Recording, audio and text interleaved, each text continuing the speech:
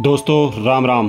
आज मैं एक ऐसे शख्स की बात कर रहा हूँ जो हैं पॉलिटिशियन, लेकिन अपने आप को पॉलिटिशियन नहीं समझते और ना किसी से डरते हैं, बस अपना काम ईमानदारी से करते हैं। और अगर वो अपना काम खुद ईमानदारी से कर रहे हैं तो वो यह भी चाहते हैं कि सामने वाला भी काम ईमानदारी से करे, जिससे वो करवा रहे हैं। और वो कोई और नहीं, मोदी मंत्रिमंडल में सबसे ढाकड़ नेता नितिन गडकरी।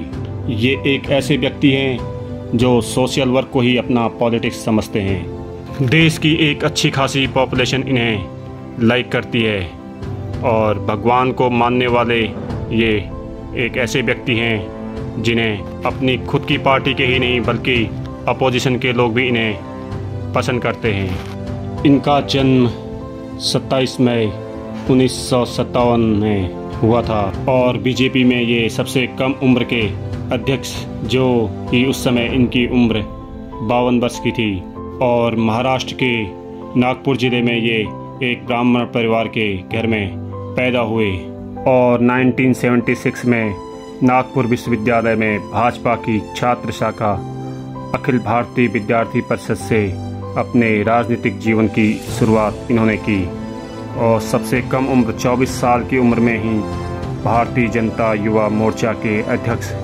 रूप में चुने गए और छोटी उम्र में ये राष्ट्रीय स्वयं सेवक संघ के आरएसएस में शामिल हुए। और नितिन गडकरी सर अपने आप को ज़मीन से जुड़े हुए कार्यकर्ता के तौर पर बताते हैं और वर्ष उन्नीस में महाराष्ट्र की शिवसेना और भारतीय जनता पार्टी की गठबंधन सरकार में ये लोक निर्माण मंत्री बनाए गए। चार साल तक इस मंत्री पद में कार्यरत रहे और उसके बाद 1995 से लेकर 1999 तक नितिन गडकरी महाराष्ट्र सरकार में पीडब्ल्यूडी मंत्री रहे।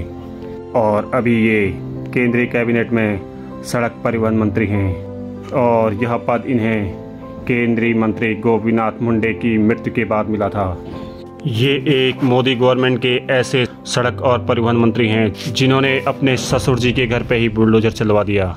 और ये कहते हैं कि कोई भी आए इनके सामने, चाहे बीजेपी, चाहे कांग्रेस, चाहे कोई परिवार, कुछ भी, आप अपना काम करो।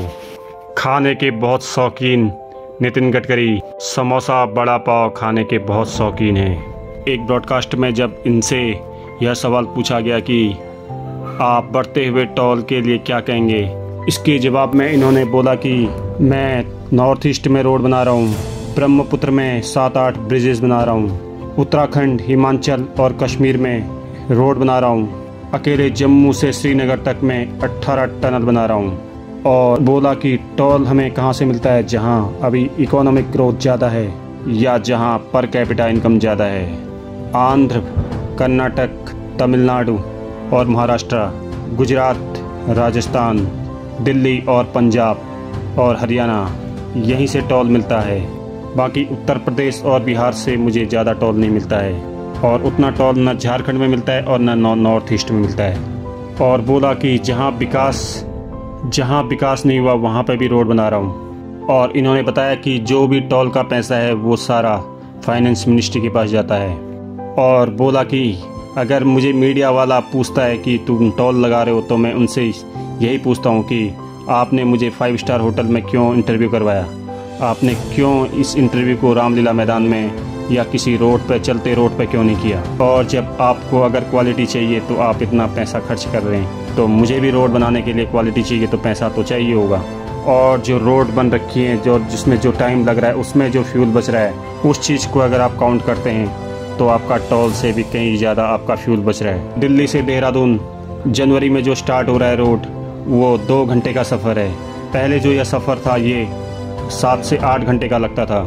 दिल्ली से अमृतसर पहले बारह घंटे का सफ़र था और अब चार घंटे में पहुँचा जा रहा है। वही दिल्ली से कटरा पहले चौदह घंटे लगते थे, अब चार या पाँच घंटे में पहुँचा जा सकता है। दिल्ली से जयपुर पाँच घंटे लगते थे और अब डेढ़ से दो घंटे में पहुँचा जा सकता है।